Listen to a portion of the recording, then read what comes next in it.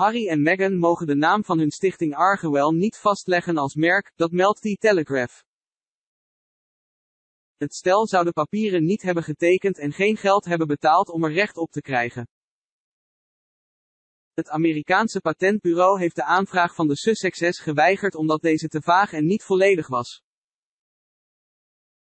Met hun organisatie willen Harry en Meghan praatgroepen creëren die emotionele steun bieden, multimedia onderwijs aanbieden en een website lanceren gericht op gezondheid. Vooral de content van de website die Harry en Meghan voor ogen hebben zou te vaag en omslachtig zijn en moet verder gespecificeerd worden. Ook hebben ze hun handtekeningen niet onder de aanvraag gezet en hebben ze de administratiekosten niet betaald. Het is niet zo dat de hertog en hertogin van Sussex hun stichting nu helemaal niet meer op kunnen zetten. Ze mogen nog wijzigingen aanpassen in hun aanvraag, wel moeten ze dat dan voor 22 augustus doen, want anders vervalt de aanvraag.